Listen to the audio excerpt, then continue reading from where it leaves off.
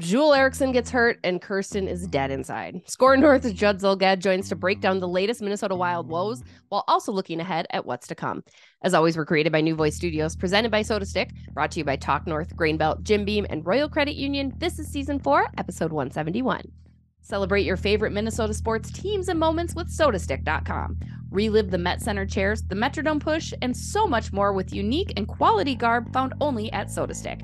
Don't forget to add code BarDownBeauties at checkout for 15% off all of your purchases. At Jim Beam, they know the importance of tradition, like chanting, let's play hockey prior to the start of each game, or playing the state of hockey anthem after a wild win. This season, raise one to your fan family with the bourbon that invites us all to come as friends and leave as family. Jim Beam Bourbon Whiskey, the official bourbon whiskey partner of the Minnesota Wild and Xcel Energy Center. Drink smart, Jim Beam Kentucky Straight Bourbon Whiskey, 40% alcohol by volume. Copyright 2021, James B. Beam Distilling Company, Incorporated, Clermont, Kentucky.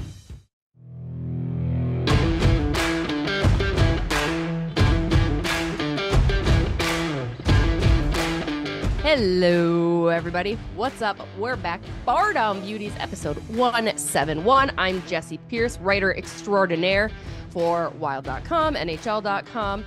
Uh, always joining Judd Zulgad. We'll get to him. He is our guest this week. He's going to stick with us for the full full episode, so we love that. Uh, over of Skor North, also joining him, and then we have Kirsten Krull, the Gophers' number one fan now. She's in Tampa, cheering on the Gophers. Look at what we've done, guys. We've accomplished it. We did it. The transformation and transition is complete. Kirsten, how's Tampa? Um, well, first, I'm reserving any comments until after I am back in my safety net. I don't even know if it'll be a safety net in Minnesota.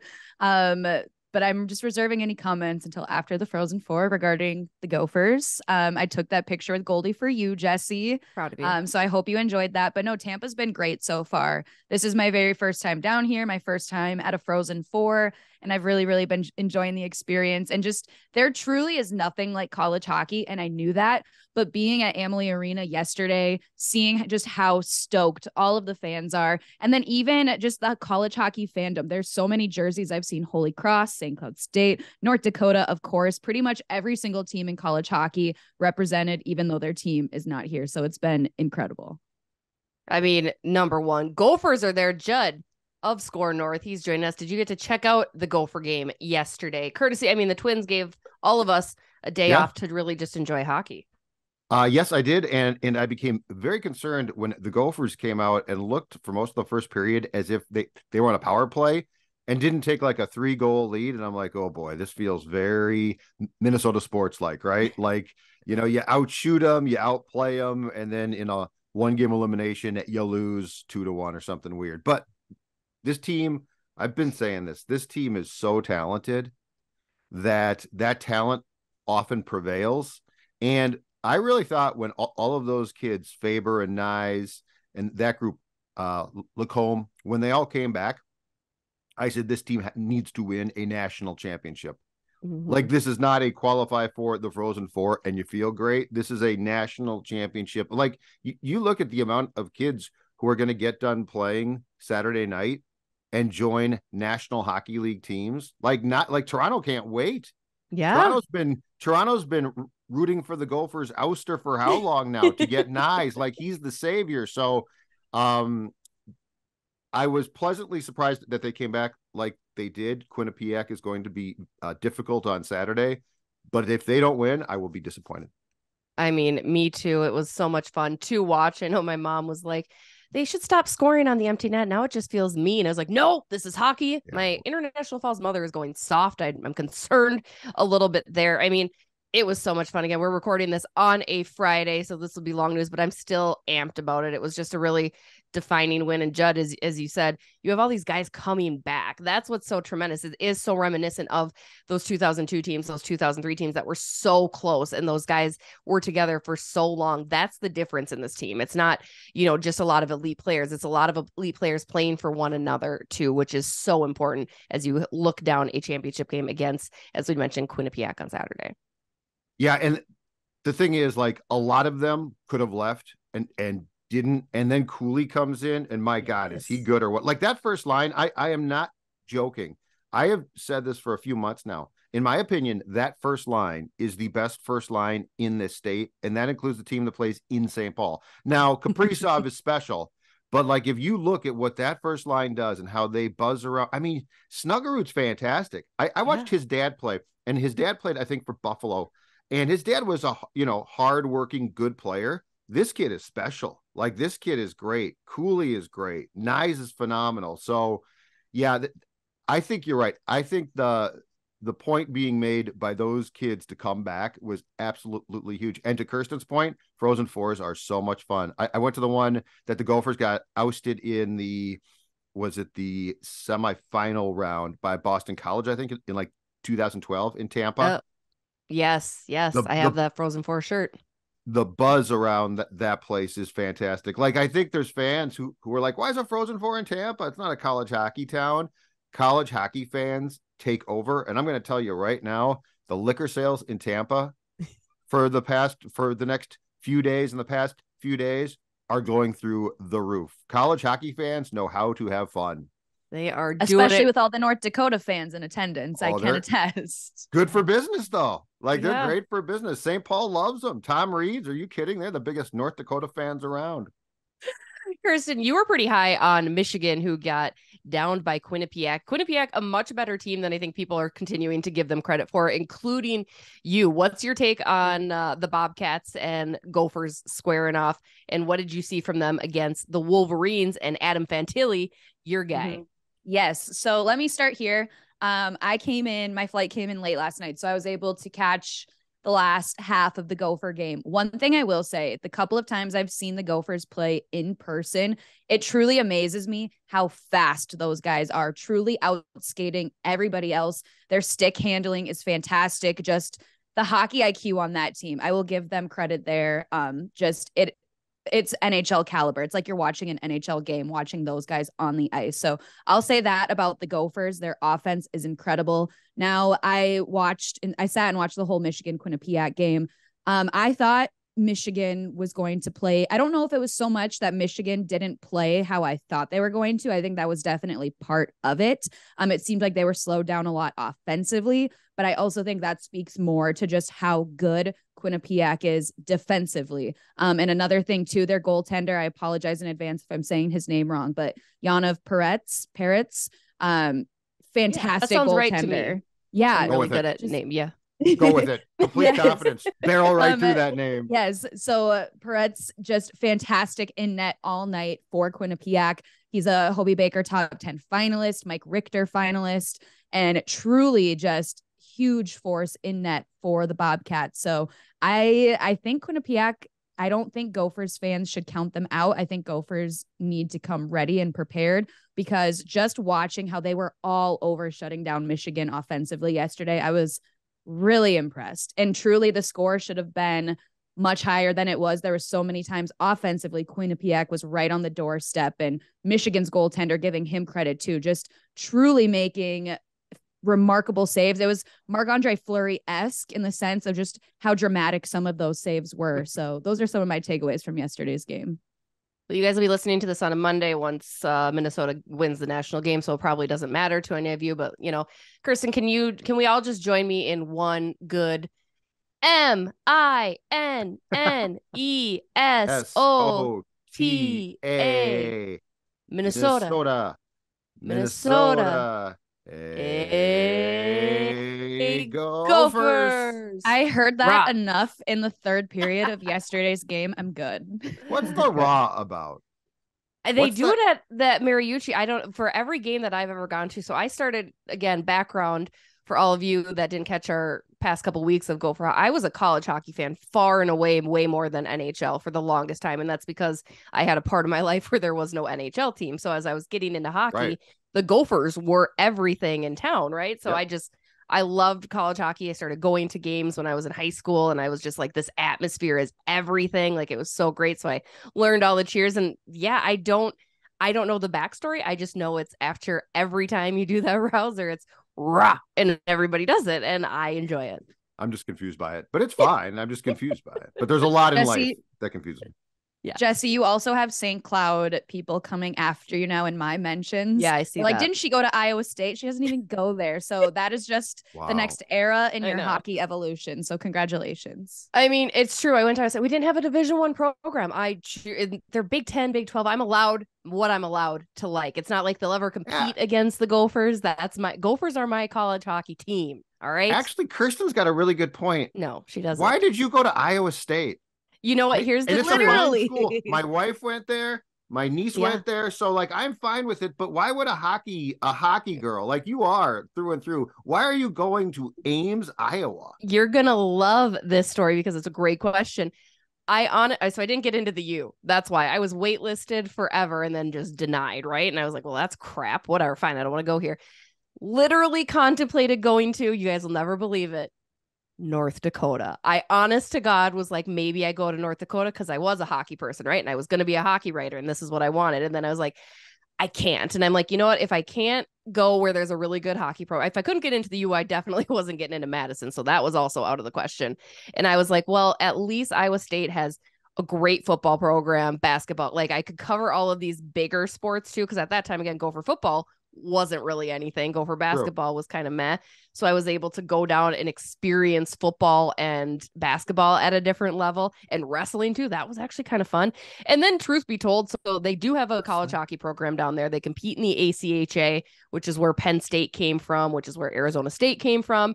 Um, and they compete at a pretty high level. So the nice thing is, I walked in to Iowa State and became their head of broadcasting, head of uh, media relations, communications. They did play by play, had a TV show, basically ran that thing. Uh, Nice. and it was it was fun, yeah. So it gave me a lot of good experience there. That was uh, I'm no s- I'm competition. I'm sorry, Jessi. I kind of blacked out after you said you almost went to North Dakota. I, I threw up in know. my mouth a little bit. I know, right? like I was like, am I really considering this? I can't I just can't believe I would ever think of that. But I'm like, but I love division one hockey and the Gophers have told me no. And so that's just what we did. Oh, somebody's there. The small child, the smallest one. You know what? She's upset, as am I, about that craptastic first period by by the National Hockey League in town last night. I don't blame her. She probably didn't sleep a wink. She probably No. didn't sleep a wink af- after that first period against Pittsburgh. Ugh. Judd Judd's pulling a, a Jesse on the transition. I love it. Great segue there, Judd. We enjoy it. Uh, let's talk a little Minnesota Wild. First things first, I want to talk about Jules Eriksson Ek getting hurt and Oskar Sundqvist getting hurt, which I think both injuries worse than even the loss. You knew Pittsburgh was going to come out because they are incredibly desperate. They're still clawing, trying to claw their way into the playoffs, into that wild card spot. Unfortunately for them, Florida and the Islanders both picked up wins last night as well, so they didn't really get any advancement there. But um, you know, I think the Eriksson Ek for sure, and even the Sundqvist injuries, not great timing. I will be going to practice a little bit later today to find out. But uh, let's start with you, Judd. How detrimental, or at least the Ek injury, is it going to be to this team Yeah. moving forward?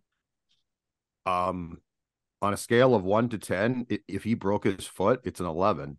Like Sundqvist. Oh, so go, going back to to Judd's hockey show, Jess, that, that we've ta- talked about this for weeks on, because I think we started to try and break down the probable playoff lines because you love lines and and pairings. And look, I said somebody's going to get hurt. So like Sundqvist, that's not ideal. I, I like Mhm. how he's played, but Nyquist, assuming he's uh, coming back along with Kaprizov, can replace him. Right. But here, but here's my question for both of you guys: If Eriksson Ek is hurt and can't play in the first round, who are the centers? Yeah. Look, Literally. Are you going to recall Rossi or Rossi, as he likes to be called? Like what? Who? Who plays center? Like this guy is one. He's instrumental. Like he does everything, and and he's Brodinish in. I don't think he's as good a player as Brodin, but I think Brodin and Eriksson Ek do a ton of stuff we don't appreciate. Like Yeah. we're like, well, if he's not scoring, well, no, he oh, when he's not scoring, he's still killing penalties.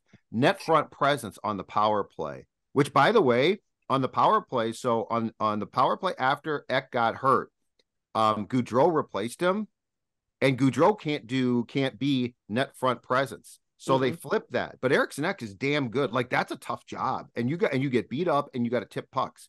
So my question back to both of you is what do they do at center here if he's hurt? Kirsten, take it away first. I'm spiraling right now. Like you know how I feel about Joel Eriksson Ek. He is just I've I love that guy. That's literally the most I can say. This finding out he was injured last night when I was just trying to enjoy college hockey was as bad of a day as when Tyson Jost got put on waivers. That's how serious this is. So I'm just that sounds like a bad. you problem, Kirsten, not a wild problem. I just I don't know who's gonna play center. That's a whole other can of worms. And just this is not a good day. I'm straight up not having a good time right now. I you've seen me do this multiple times this season. Like Wild aren't going to make the playoffs now that Kirill's out. Wild, blah blah blah. This is really bad. Like the mm-hmm. alarm is sounded. And Judd brings up a good point. Who is going to play center now? Like, and I also love Judd that you said like Brodin and Ek. They do so many things that we don't notice that we don't appreciate. Like we're we're just not in a good spot without Jewel in that lineup. I think we're really going to see a lot of cracks that the Wild do have that they're not going to have time to figure out. I mean, Jed, you alluded yeah. to it. Joel Eriksson Ek is doing all the right things on that Johansson and Boldy line. He is crucial to them. He has yeah. that net front presence. He's able to tip it in when Boldy's fire of a shot doesn't get through, and, and he's right there and he's screening the goalie and he's doing all the right things because Johansson and Boldy aren't those type of players. There aren't many. Who replaces Sam Steele? You obviously have a centerman there that can hop in, but again, he doesn't have the Joel Eriksson Ek presence. He doesn't have the mean mug uh duh face that just pisses opponents off and that's the other right. thing that he brings so that one absolutely terrible it is unfortunate for Sundqvist but you're right Judd and, and Kirsten it opens up a spot that was needed anyway for Nyquist mm-hmm. to come back and for Kaprizov. So unfortunately, it looked like Sundqvist might have been the odd man out either way. So this injury, not knowing how serious that might be, we don't even really know what it was. It's just undisclosed at this point. Um, but yeah, I mean, the Eriksson Ek, you pray that good news comes today from practice or even tomorrow ahead of the St. Louis game again. Recording this on a Friday, so more will be known. But he's irreplaceable at this point. I mean, truly, he re- is because he's exactly the type of player you need coming into the playoffs. Let's talk a little bit, you guys, about Kaprizov and Nyquist. How excited are we for the Gustav Nyquist uh, experiment to begin? Sounds like against the St. Louis Blues on Saturday. I'm very excited. And also, Jessi, just one quick follow up on our previous discussion. Um, I'm gonna blame you if there's not good news about Jewel Eriksson. Like you're like the weatherman. Like you have no control over it, but you're the one bringing the, the bad news. So therefore, like I'm blaming you. This is also true. if the Wild need a punchable face in the lineup, they can borrow mine. I'm willing to step in and replace Jewel Eriksson Ek's punchable face. I think we're on par. So those are my two quick things. Um, also very excited about Nyquist. If he is everything that people have been saying while he's been out. I'm very, very excited to see what he's going to bring in to this wild lineup at truly the perfect time come playoffs. Um, Bill Guerin obviously had a, a, vision when he picked him up before the trade deadline. So very excited for that. And also just Kirill coming back. That's going to be huge. I just, my only concern is I hope that the Wild are able to continue the momentum that they had more so Matt Boldy than anyone. So those are my mm-hmm. quick takeaways. Judley? Nyquist, I am I'm curious, but I'm tempered. He, he hasn't played in a long time. So like mm-hmm. I don't know what to expect. I think that to expect him to like step back in and be uh Gustav Nyquist in, in his prime is probably a huge ask. That doesn't mean he can't contribute, but I'm sort of tempered there because I mean when you know going back to I think it was uh, January when he was with the Blue Jackets and got hurt, they said mm-hmm. his season is done. And then they're like, "Oh no, hold on a second here, it's not." So I'm I am I am cautiously optimistic that he can contribute. And if he does, that's awesome. On Kaprizov, I you know, seeing him skate the, the stuff that you and a bunch of folks, Jessi, tweeted out from practice, he looked surprisingly good. He looked so surprisingly good. good. And he is such a tough SOB. Um, I'm sure he will not be at 100% until going back into training camp. But again, a lot of guys aren't. And and the, the thing is, like the Eriksson Ek injury is a real problem. I get that. But the playoffs are a war of attrition. So like guys are gonna get hurt. It just happens. Bless you. Thank you. I muted myself to avoid because I have a very girly sneeze. That's oh, see now you you buried it. Uh-huh. Uh-huh. I know. So so the thing about playoffs, and we see it every year, is at some point in time, guys get hurt. And guys have to step up. Uh, on your point about Steele going to center, Do you think that Steele goes to center on the Johansson Boldy line, or do you think Dean promotes Gaudreau because that's a son. I, I, mean, his name should be it should be legally changed to Freddie Evason. Okay, let's just change his Maybe name. Maybe a hyphen it. Maybe it's Freddie Gaudreau Evason. Evason Freddie yeah, Evason that's Gaudreau. fine. Whatever. Yeah. Um, but do they promote him to that line, and then if Steele plays center, he goes to what amounts to the third line? I mean, I I think so. They tried that though immediately. That was, I think, their first stab at that line was yeah. before they moved Ek. And I think that's because again, they need that physical presence. I'm gonna say something that sounds a little crazy. It just came to me, but I'm just gonna blurt it out. Ryan Hartman. Why not put maybe Ryan Hartman there because he has that grittiness? Remove him from Kaprizov and Zuccarello because it's not necessary. I mean, it's not bad right now. Certainly, I know they love it. I know we love that line and we don't want to mess with it, but I feel like again you could input a few different people. Maybe you put Sam Steele back there. Maybe you put Freddie Gaudreau there. I don't know. I just think that line with Boldy and Johansson needs something more. It needs somebody tougher. And I, I Hartman's the only player aside from Joel Eriksson Ek in my mind that I'm comfortable slotting there. I think so. I'm gonna. I said it. I'm out there. I'm putting it out there.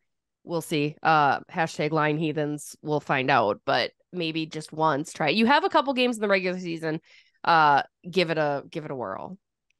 One other question for both of you. Matt Zuccarello, I mean, let's just say it, he's been less than impressive without Kirill Kaprizov. He's been struggling. Do you think his problems that he's had are going to be fixed once Kirill comes back or do you think maybe you'll have to eventually look to maybe take him off that spot and fill it with somebody else. Judd, you called him the bad employee the other day on Judd's hockey show. So why don't you uh, enlighten us yeah. on your thought of I Matt mean, Zuccarello?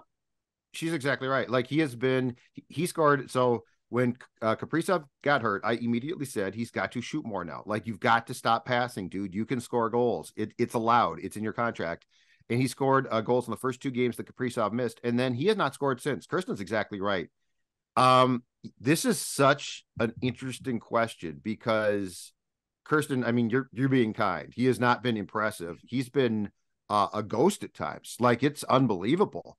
And that line, well, I know that on the line charts that the team gives out before games now, that line without Kaprizov has been demoted to the second line. But all of that being said, if you take him off that line, if he's not playing well with Kirill, one is is that going to cause problems with Kaprizov? But two is this like for all we talk about what the adjustments might be, you guys, Dean doesn't really like to change lines much. Like if something's like if something is it has worked, Dean's gonna let that sucker ride. Uh, his adjustments are not quick. So I, you know what? I've thought about this. I would be very surprised if Zuccarello and Kaprizov are broken up unless Zuccarello like got hurt. Yep. I'd be That's surprised. true. That's true. You guys, we got to take one quick break. When we come back, we're going to continue to dive into the Minnesota Wild current. And then I want to look ahead to the future a little bit too. Look at the playoffs, look at the Wild in 2025. One quick break. We'll be right back.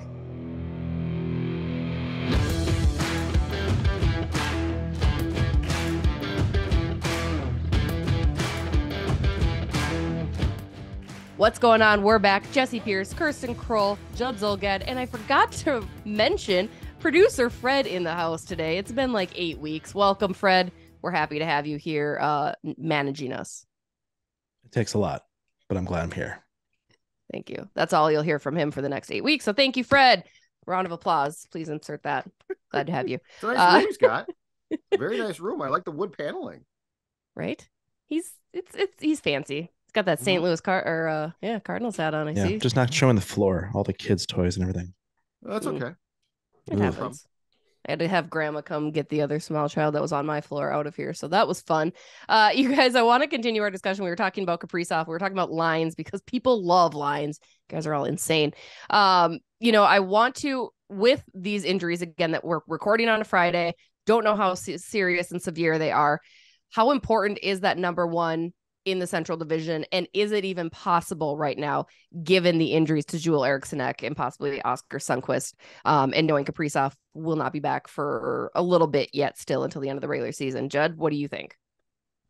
Oh boy. Um, so if Ek is hurt, my opinion changes greatly, unlike this entire thing. Um, I don't know how far if he's not going to be playing in the playoffs or he's go, going to miss, let's say, um, the first two rounds. I don't know how far this team can go, but let's just say, let's assume that the news is good. Okay, uh, I think winning the division is incredibly important. Um, my whole thing though is you want to avoid the abs. So the next best case is the abs bypass you and Dallas, and and the Stars did I, I think both teams, right? The abs Both, and yeah. Stars won on uh, Thursday night. Best case is uh, the abs pass you and Dallas, and you finish second and get home ice against Dallas. Jake Oettinger is really damn good, but I've seen him play more of late, and I think he's getting tired. So He's I, I'm gotta be. yeah, I'm curious about that. Dallas as a whole doesn't really scare me. Like if you can't beat Dallas, then you just don't, again, unfortunately, deserve to advance. Colorado's a real. I mean, that's a different ball game with MacKinnon, and if uh, Makar's back and uh, um, Byram's playing great right now, so that's a different ball game. Um, but this is why the Thursday night performance in Pittsburgh disappointed me so much. Mhm. Like all we heard was, including from my friends at Bally's, uh, all we heard was, you know, the why, you know, Pittsburgh is desperate. Pittsburgh is it's like so's the wild. You can win the division. Like, what more desperation? Like, you shouldn't be facing playoff elimination to play really, really well for an entire game. So that really disappointed me. And then th- there was the report that they called a closed door meeting with four games left in the season to say we got to button this thing down. Um, on on my show, I melted down. Like I'm like four games left, and you're calling a closed door meeting to say you've got to you what? You need to remind your team that you're Yeah. still playing for And- something. And to be clear, the Vegas back to backs, the Saturday game, I felt they didn't really. I felt they tried to play too cute, and so I didn't love that, but I didn't hate that game. And Monday, I thought was a hell of a game. I mean, you lost, as Dean said, in a stupid shootout. Um, like that's not. It's a tough loss. The late goal was bad. The prevent defense in the third period last week against the Avs, and then that Golden Knights game bugs me. Like like Pittsburgh did the same thing Thursday night against the Wild. You know, don't go into this shell. I just hate the shell. Um, that doesn't mean that you can't play a smart defensive style, but yeah, I was I'm re- I was really taken aback by by the fact that the Wild, knowing you know that first place was on the line, didn't play bet better because obviously first place is the ideal. Like then you get what Seattle probably. You should certainly beat the Kraken. You get home ice there. Um, so yeah, I I think it's important, very important. I think it's important in the sense on a personal note it works better for my schedule so i want to see that. Um but no i i agree with everything judd said. Um i would love to face seattle in the first round. I think they they at the beginning as we talked about they were no one knew no one had them figured out because they were outperforming everyone's expectations at this point in the season. Um seattle doesn't i very beatable team very if the wild faced off against them we would for sure be in the second round even if eck is fingers crossed out with a serious injury that i'm fingers crossed that he's okay i worded that really poorly um but also too the avs didn't scare me as much in that one game where we saw how well the wild played against Mhm.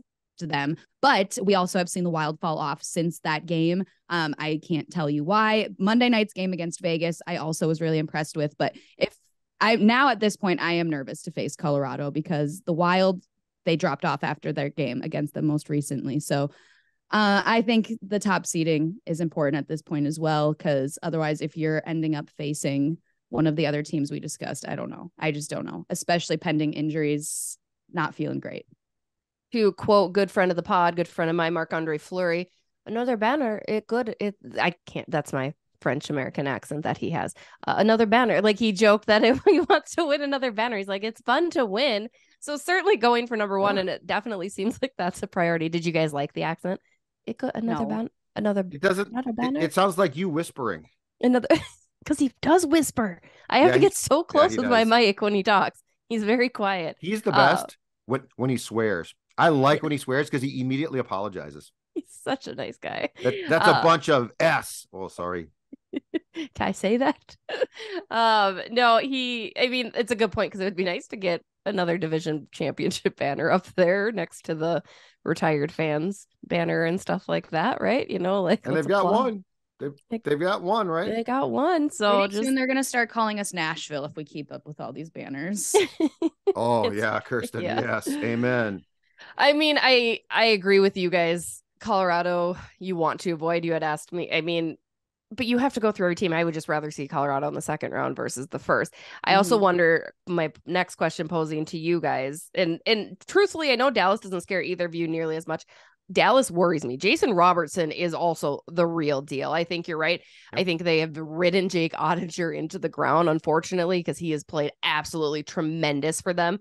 Um, I just feel like things are clicking the right way for Dallas. That they make me a little worried, just a little bit. Um, you know, not as much as Colorado would, but it certainly wouldn't be a cakewalk. And granted, in the playoffs, nothing should be a cakewalk, right? Unless you're the Columbus Blues Jackets taking down the Toronto Maple Leafs in a four game sweep. But it'll be interesting. I mean, I think they have to go for it. Or my next question do you have that I have to you guys, given the fact that you did lose such an integral part and piece of your team, again, we don't know for how long in Joel Eriksson Ek.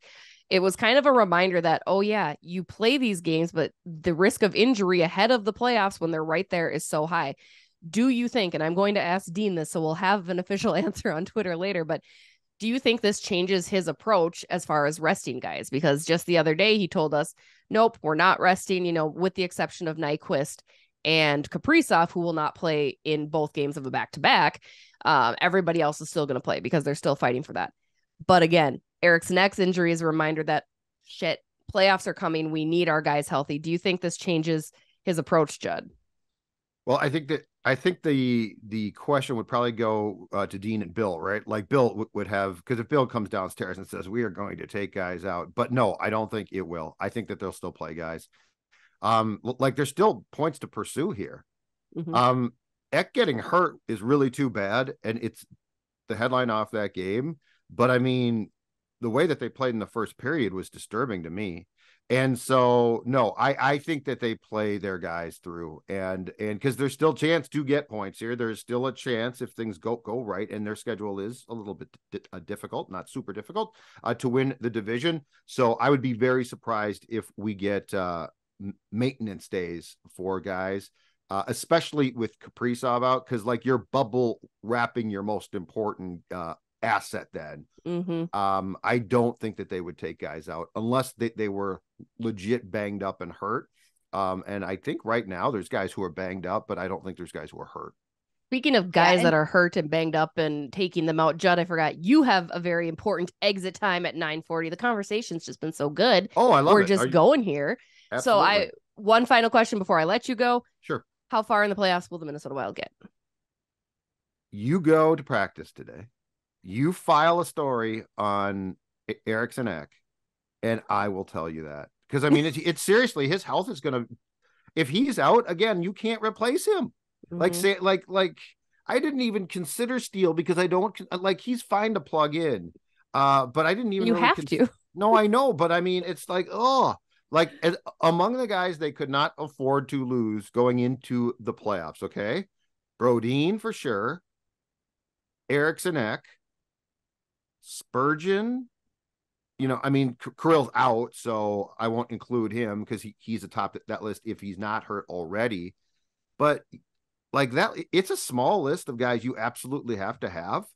And if he if he's not in and they play Dallas in the first round, it's going to impact things like for sure. I, I don't know. I pick them then. Dallas doesn't scare mm-hmm. me, but they but but they scare me a heck of a lot more without a guy who who is your. I mean, I don't think it's even close. Right? He is easily your best overall center. Yeah. And Dallas has a ton of really good centers. Like they Yep. crush the faceoffs every time they face. Well, Judd, Good as always, thank you. Thank you so much for joining us. You can check out Judd's hockey show each and every week. Yours truly on Wednesdays, but the rest of the time is good as well. And Yeah. all the other Vikings content, Twins content, um, and all your good stuff over at Skor North. Judd, you're the best. Thank you, man. Thank you. Have have fun in Tampa, Kirsten.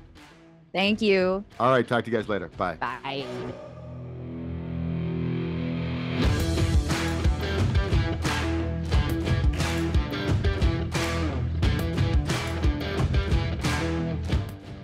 We're back. Not at all having internet issues or just freezing and doing stuff like that. What are we talking about, guys? Yikes. Worked clean though, eh? We're happy you're back. That's Thank you. Thank you. I'm happy I'm back. I'm happy to be back. Kirsten, let's wrap up this week's episode looking at the playoffs, continuing that playoff discussion. Uh, Judd brings up a good point, and I think we can both agree that it is dependent on Eriksson Ek and how injured he is, how long he's out, what that means for the playoffs. But we posed this in our up for debate. Do you think the Minnesota Wild get bounced in the first round? Do you think that they lose in the second? Or do you think they make it to the Western Conference Finals? A lot of people came for me because I didn't include the Stanley Cup as an option because one, I only get three choices for my setup here. Two, really, like, really, I mean, I'm sorry, really. Uh, that's what I have to say about that. Kirsten, what did you, what's your selection of those three options? Uh, Joel Eriksson Ek injury outside. I just, I still am very unhappy hearing Joel Eriksson Ek injury. Does a little piece of you die um, every time you say it? Yes, it does. Like I'm dead inside today, not only because I'm very tired, not only because people are slandering Adam Fantilli online, but because now Joel Eriksson Ek, like I am just, I have a lot and of Tyson Jost is no longer with the team. Yeah, that too. Thanks for bringing that up again, Jesse. Um, oh, what I forgot even what the question was, but now I remembered. Um, if Joel is out, first round bounce, first round bounce if Joel's out if Joel is healthy, we're making it to that second round. Now, after that second round, I don't know. Okay. Fred, let's draw you in here, man. What do you think? You're um, a guy um, that covered this team through many first round bounces as well. Uh, so. Yes, I have. I, it's a really interesting thing because the team was really gelling with Kirill out. Um, and they were actually stepping up for some of the big heavy hitters in the league and getting some wins and points and everything. I, the the problem is to me, the most important players on this team are Boldy and Ek. You know, and if one of those falls, you're going to be, it could be a four game sweep.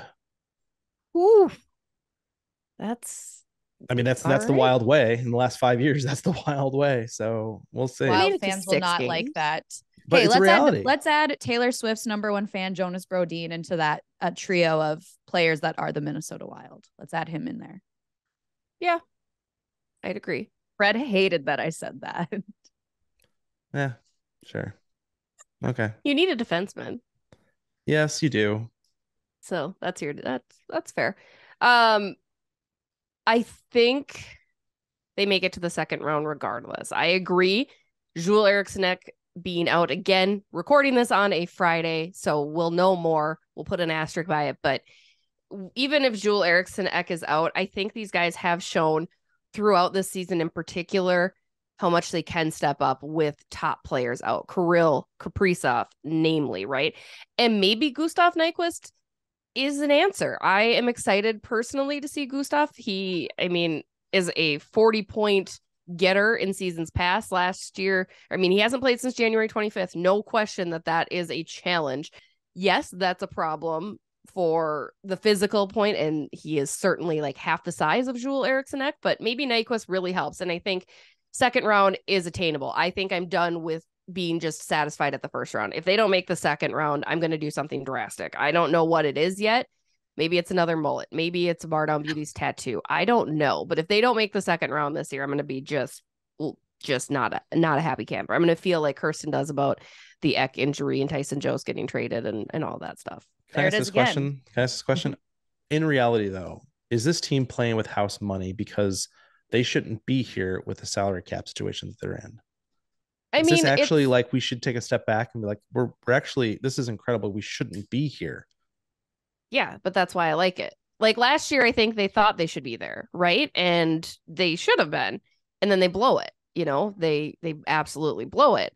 And you look at this year and the team shouldn't be here. So they've got to be feeling themselves because they're doing something right. Right. And again, that's a credit. And I want to get into this more in next week's episode, you guys, because I did want to discuss it today, but we just ran out of time. Like, I do want to look at the future of this team a little bit, regardless of what happens at the end of this year, because I think there's some major, major things that need to be considered. A Kaprizov extension. You have to think of all of these different things in order to set up the squad for a good run in the future. Um, as for right now, in the current present, they they need to make the second round. They need to because you are you're, you need to start too. turning the corner. Yeah, Kirsten. I thought of something too. The Wild, you bring up the Kaprizov extension. If Yeah. the Wild want to keep Kaprizov, they're going to need to get out of the first round. Need he get out of the is not round. here to mess around. He's a superstar. He wants a Stanley Cup. If you can't even get out of the first round, what are you incentivizing him with to stay in Right. Minnesota? So, I mean, Yeah. yes, just from the fan perspective, team perspective, get out of that first round, but to keep your superstar players happy, you there's no question about it. You need to get out. or get him another Russian. One of those two, because Matt Zuccarello is not the answer to keep Kirill Kaprizov happy. I think uh, it, it's part of it because I think Ka- Kaprizov needs a buddy like that, and Matt Zuccarello is good for him, but he's not great for the rest of the team. He's kind of on the tail end of his career here, so you need another Russian, I think, moving forward. So yes, get out of the sec- first round for Jesse. Get out of the first round for Kaprizov. Get out of it for just to make Kirsten happy a little bit, right? You know, probably. I need to smile. Fred. I deserve to smile after everything that has Does, this- happened. does she sound like a parent lately? I mean, Like, that's this, the things that are coming out of her. Fred and I live this every day. that every you day. and I should be saying on a daily basis. I think I inside. snapped. snapped. I snapped a long time ago, and now you guys are just dealing with the Wow. repercussions of it. Okay. Welcome to the club. We're all dead inside here. we're all dead inside Yay. here. Uh, I want to say I'm happy to be here, but I'm not happy. So. Us dead inside folks are the Bar Down Beauties podcast, uh, bringing you new episodes each and every week. We do have our next live show at Harbor Bar in Stillwater coming up this Friday, the 14th. Look forward to seeing you guys out there. TBD on time. I believe it'll be 6 p.m., but we will confirm that. Uh, again, Harbor Bar, a great spot. We'll be looking ahead at the Minnesota Wild as they ready into the playoffs. You likely won't even know position until later Friday night uh, because things are so tight in the in the West and in the Central as they usually are. So shout out to Grain Belt for allowing us another live show at Harbor Bar. Again, that's on Friday. Shout out to SotaStick. Uh, as always, great merch. You know it. I don't need to spiel you with it. Use code Bardown Beauties at checkout for 15% off. Shout out to Jim Beam. Always a good thing to cheers. A little, little liquor in your drink. I'm sure Kirsten will be drinking some of that because she's also dead inside. That's what dead inside people do is they drink Jim Beam. So cheers to that. That should be their new slogan. Maybe not. I don't know. We'll find out. And also Royal Credit Union. Less fee, more free. You guys are awesome. Appreciate you each and every week for checking us out. Follow along on all of our socials. And uh, you know what? Hey, go Ghosts.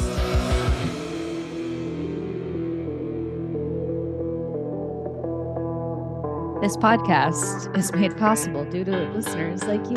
Thank you.